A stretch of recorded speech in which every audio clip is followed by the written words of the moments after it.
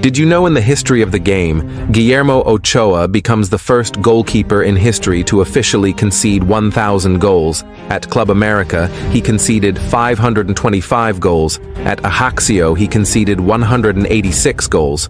Also, at Standard de Liège, he conceded 113 goals. At Granada, he conceded 82 goals. Also, at Salernitana, conceded 75 goals. Also, at Malaga, he has conceded 19 goals.